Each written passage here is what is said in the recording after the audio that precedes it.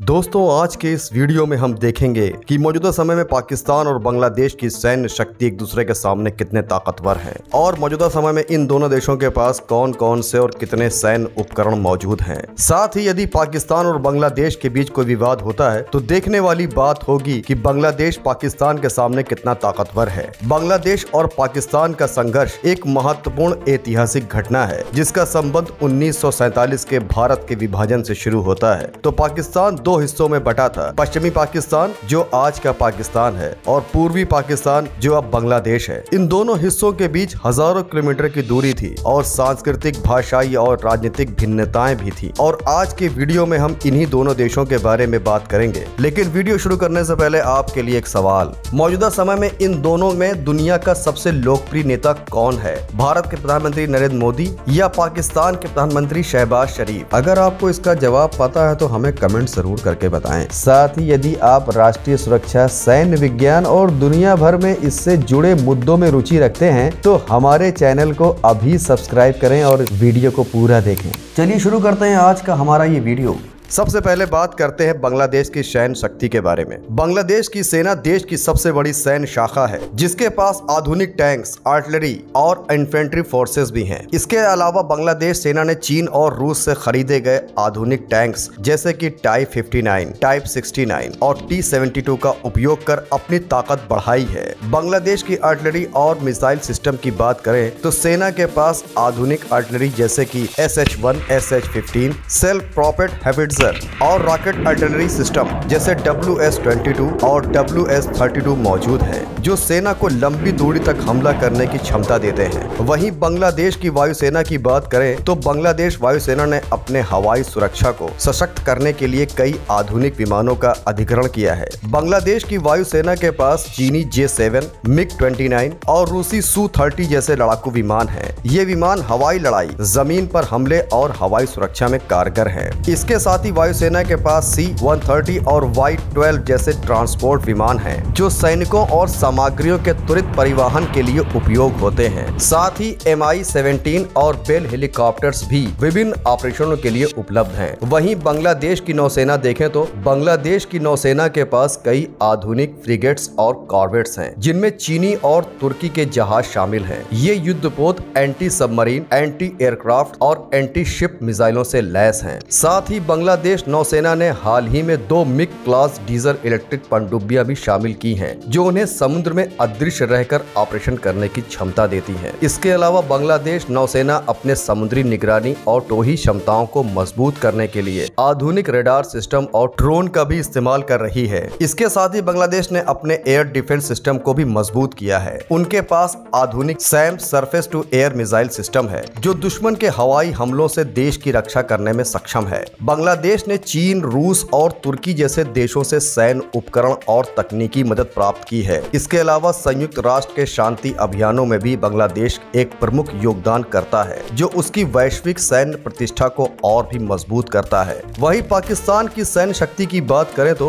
Pakistan Indonesia के बाद दुनिया का दूसरा सबसे अधिक मुस्लिम आबादी वाला देश है, जो की अपनी सुरक्षा और न्यूक्लियर पावर क्षमताओं के कारण हमेशा चर्चा में रहता है। भले ही मौजूदा समय में पाकिस्तान की आर्थिक स्थिति खराब है, लेकिन इसके बावजूद भी पाकिस्तान से पंगा लेना किसी भी देश के लिए भारी पड़ सकता है जिसकी बड़ी वजह पाकिस्तान आर्म फोर्स है, जो कि एक विशाल और विभिन्न संरचना में है। जिसमें मुख्यतः थल सेना, जल सेना और वायु सेना शामिल है। पाकिस्तान की सेना की बात करें तो पाकिस्तान की सेना के पास अत्याधुनिक टैंक, तोपे और पैदल सैनिकों की ताकत है। इसके साथ ही पाकिस्तान के पास स्वचलित तोपखाने और कई रॉकेट लॉन्चर सिस्टम है, जिनमें नस्र जैसी मिसाइलें शामिल है। वहीं पाकिस्तानी एयरफोर्स की बात करें तो पाकिस्तान की वायुसेना एक प्रमुख सैन्य शक्ति है, जिसकी गिनती विश्व की बेहतरीन वायु सेनाओं में से होती है। पाकिस्तान के पास करीब 900 लड़ाकू विमान हैं, जिसमें जे एफ़ सेवेंटीन थंडर जो पाकिस्तान और चीन द्वारा संयुक्त रूप से विकसित किया गया है एफ़ सिक्सटीन फाइटर जेट और मिराज फाइव भी पाकिस्तान वायुसेना में शामिल है वही पाकिस्तानी नौसेना को देखें तो पाकिस्तान की नौसेना पाकिस्तान की सैन्य शक्ति का एक महत्वपूर्ण हिस्सा है खासकर हिंद महासागर और अरब सागर में सुरक्षा के लिए पाकिस्तान के पास आधुनिक युद्ध युद्धपोत पनडुब्बियाँ और समुद्री विमान हैं। पाकिस्तान की नौसेना का मुख्य उद्देश्य अपने समुद्री तटों की रक्षा करना और अपनी अपनी व्यापारिक मार्गों की सुरक्षा सुनिश्चित करना है इसके साथ ही पाकिस्तान एक परमाणु शक्ति संपन्न देश है, जिसने पहली बार उन्नीस सौ अठानबे में अपना परमाणु परीक्षण किया था और आज के समय में पाकिस्तान के पास लगभग एक से एक न्यूक्लियर वारहेड्स होने का अनुमान है पाकिस्तान की बैलिस्टिक मिसाइलों में शाहीन, गौरी और अबाबील जैसी मिसाइलें शामिल हैं। इनमें प्रमुख मिसाइल शाहीन थ्री, जिसकी रेंज करीब 2750 किलोमीटर तक की है, जो पाकिस्तान की परमाणु क्षमता को और मज़बूत बनाती है। और ऐसी स्थिति में ये देखने वाली बात होगी कि पाकिस्तान के सामने बांग्लादेश कितना ताकतवर है। सबसे पहले बात करते हैं जोग्राफिकल साइज़ की। तो बांग्लादेश की कुल जोग्राफिकल साइज़ एक लाख अड़तालीस हज़ार वर्ग किलोमीटर से अधिक की है। वहीं पाकिस्तान की जोग्राफिकल साइज़ आठ दशमलव आठ लाख वर्ग किलोमीटर से अधिक है। टोटल पॉपुलेशन की बात करें तो बांग्लादेश की कुल जनसंख्या मौजूदा समय में करीब सत्रह करोड़ सैतालीस लाख से अधिक है। वहीं पाकिस्तान की टोटल पॉपुलेशन चौबीस करोड़ बावन लाख से अधिक है। नॉमिनल जीडीपी की बात करें तो मौजूदा समय बांग्लादेश की nominal GDP 455 billion US dollar value की है। वहीं पाकिस्तान की current nominal GDP 338 billion US dollar value की है। डिफेंस बजट में एक सोर्स के अनुसार, बांग्लादेश ने अपने डिफेंस बजट पर मौजूदा समय में सात बिलियन यूएस डॉलर वैल्यू के करीब खर्च किया है और पाकिस्तान ने अपने डिफेंस बजट पर दस बिलियन डॉलर का खर्च वर्ष 2020 में किया था। इसके बाद वर्ल्ड मिलिट्री रैंकिंग की बात करें तो ग्लोबल फायर पावर इंडेक्स 2024 के अनुसार, बांग्लादेश दुनिया का सैतीसवां सबसे ताकतवर सैन्य शक्ति रखने वाला देश है। वहीं पाकिस्तान पाकिस्तान दुनिया का नवा सबसे ताकतवर सैन्य शक्ति रखने वाला देश है।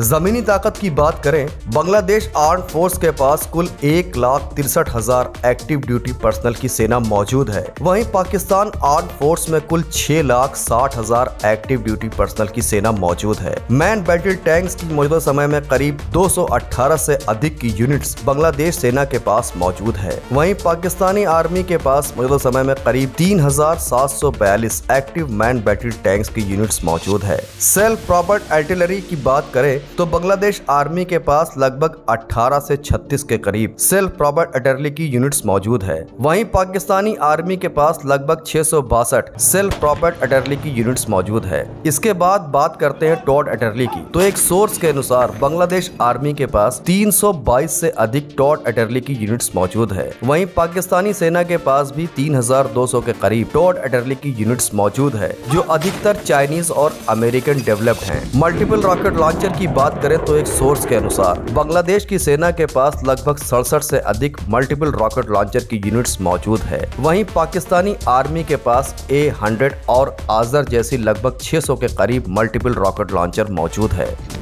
बात करते हैं एयर पावर की तो बांग्लादेश मिलिट्री के पास वायुसेना द्वारा इस्तेमाल किए जाने वाली सभी प्रकार की मिलिट्री एयरक्राफ्ट की लगभग 210 से अधिक की यूनिट्स मौजूद है। वहीं पाकिस्तानी मिलिट्री के पास सेना द्वारा इस्तेमाल किए जाने वाली सभी प्रकार की मिलिट्री एयरक्राफ्ट की लगभग 1400 से अधिक यूनिट्स मौजूद है। मल्टी रोल जेट्स की बात करें तो बांग्लादेश वायुसेना के पास करीब आठ मल्टी रोल जेट्स की यूनिट्स मौजूद है। वहीं पाकिस्तानी आर्मी के पास करीब तीन मल्टी रोल जेट्स की यूनिट्स मौजूद है। इसके साथ ही बांग्लादेश वायुसेना के पास 36 फाइटर जेट्स की यूनिट्स मौजूद है। वहीं पाकिस्तानी वायुसेना के पास अटैक और इंटरसेप्टर जेट्स की 145 यूनिट्स मौजूद है। वहीं एक सोर्स के अनुसार बांग्लादेश की सेना के पास कोई भी अटैक हेलीकॉप्टर्स की यूनिट्स मौजूद नहीं है। वहीं पाकिस्तानी आर्मी के पास अटैक हेलीकॉप्टर्स की कुल सत्तावन के करीब यूनिट्स मौजूद है। न्यूक्लियर वार की बात करें तो बांग्लादेश के पास कोई भी न्यूक्लियर वार की यूनिट्स मौजूद नहीं है। वहीं पाकिस्तान के पास 170 न्यूक्लियर वार की यूनिट्स मौजूद है। इसके साथ ही पाकिस्तान चुपचाप खुफिया तौर पर अपने न्यूक्लियर वार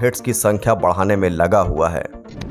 अंत में बात करते हैं समुद्री ताकत के बारे में। तो इस फ़ील्ड में बड़े एयरक्राफ्ट कैरियर्स की कोई भी यूनिट्स दोनों देशों के पास नहीं है। इसके साथ ही बांग्लादेश नौसेना के पास दुश्मन की समुद्री ताकत को तबाह करने के लिए कोई भी डिस्ट्रॉय शिप की यूनिट्स मौजूद नहीं है। वहीं पाकिस्तानी नेवी के पास दो बड़े डिस्ट्रॉय शिप की यूनिट्स मौजूद है। बात करते हैं फ्रिगेट्स की। तो बांग्लादेश नौसेना के पास एक्टिव फ्रिगेट्स की सात यूनिट्स मौजूद है, जो काफ़ी हथियारों से लैस होती है। और ये इन्हें ही अपने मिसाइल गाइडेंस डिस्ट्रॉय के तौर पर इस्तेमाल करते हैं। वहीं पाकिस्तान नेवी के पास नौ एक्टिव फ्रिगेट्स की यूनिट्स मौजूद है। कॉर्बेट्स की कुल छह यूनिट्स बांग्लादेश नौसेना के पास मौजूद है। वहीं पाकिस्तानी नेवी के पास कॉर्बेट्स की कुल सात यूनिट्स मौजूद है, जिससे ये आने वाले समय में बढ़ाकर बारह करने वाले हैं। वहीं समुद्र के गुप्त हथियारों की बात करें तो बांग्लादेश नेवी के पास दो एक्टिव सबमरीन की यूनिट्स मौजूद है। वहीं पाकिस्तानी नेवी के पास आठ एक्टिव सबमरीन की यूनिट्स मौजूद है, जिसमें पाँच अटैक सबमरीन और तीन मिडगेट सबमरीन शामिल है। साथ ही पाकिस्तान, चीन के साथ मिलकर आठ नए अटैक सबमरीन बनाने के लिए काम कर रहा है, जो कि 2028 तक पाकिस्तानी नेवी में शामिल हो जाएगी। तो दोस्तों, ये तो रहा मौजूदा समय में बांग्लादेश और पाकिस्तान की सैन्य शक्ति। एक दूसरे के सामने कितने ताकतवर है और इनके पास कौन कौन से और कितने सैन्य उपकरण मौजूद है। तो दोस्तों, बने रहिए हमारे चैनल के साथ और जानिए दुनिया भर के सभी देशों के बारे में महत्वपूर्ण और रोचक जानकारियाँ। और हमारे चैनल को आपकी बदौलत बड़ा बनाने के लिए अभी सब्सक्राइब करें, ताकि हम आपके लिए ऐसे ही वीडियोस लाते रहें। फिर मिलेंगे अगले वीडियो में। जय हिंद।